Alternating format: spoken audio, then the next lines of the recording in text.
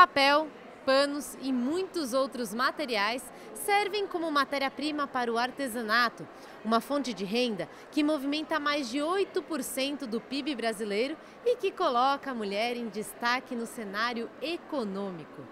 Um exemplo disso é a Rita, professora de artes e música que de repente viu o nicho de mercado nas feiras de artesanato. Hoje, com esta habilidade, alguns aperfeiçoamentos, a mulher passou a tomar conta de um negócio. Eu digo que neste ramo nós somos a maioria e somos muito boas no que fazemos, que é ter o nosso próprio negócio. E para ter esse próprio negócio, essas habilidades, claro que ajudaram muito, o conhecimento que se teve, mas o mundo hoje é uma oportunidade. A May foi uma das mulheres que reconheceu essa oportunidade ao se mudar para o Brasil e ver seu marido ficar desempregado. Há 20 anos, o casal trabalha produzindo e dando aulas sobre patchwork. Eu tenho muitas alunas que encontraram saída com artesanato, saída para depressão, saída econômica, saída para para se impor um pouco, não é? Para falar, essa sou eu, eu quero fazer isso e ponto, acabou.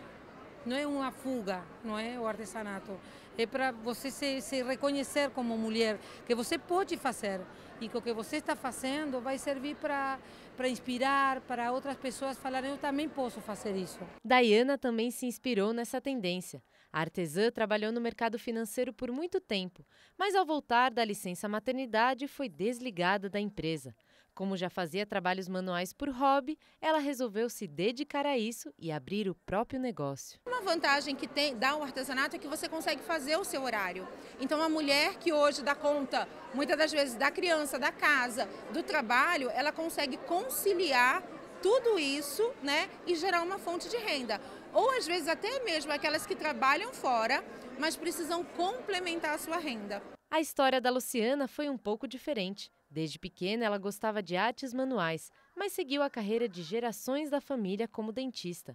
A empresária enche os olhos de água ao contar como percebeu que era o artesanato que lhe traria felicidade e sua fonte de sustento. Que a gente demora a acreditar e quando a gente acredita, tem outras pessoas por trás, eu não sou sozinha. Estou aqui, vim de tudo. Estou muito feliz. Histórias que realmente emocionam. Clarissa Brito para a Rede Vida de Televisão.